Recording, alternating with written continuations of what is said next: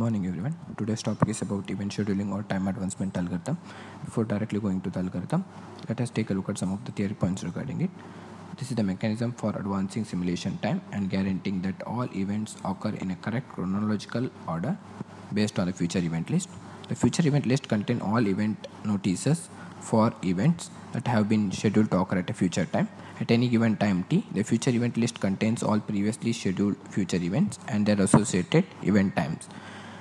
Future event list is ordered by event time, meaning that the events are arranged in a chronological order and event times must satisfy the condition that is t should be less than t1 and t1 should be less than or equal to t2 and so on up to tn.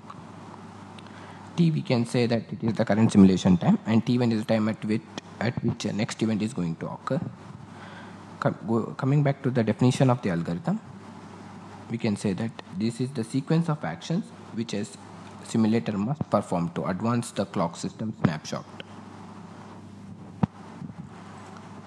Let us take a look at the old system snapshot at time t.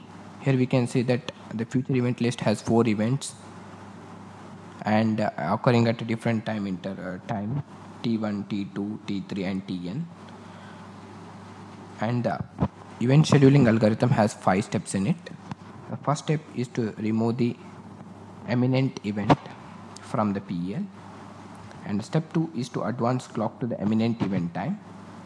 And step 3 is to execute the eminent event and update system state change entity attributes and set membership as needed.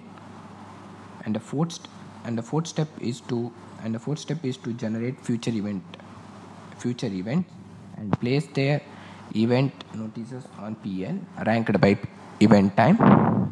And step 5 is to update cumulative statistics and counters. Now if you look at the new system snapshot at time t1, we can find the difference between the old and new one. Thank you.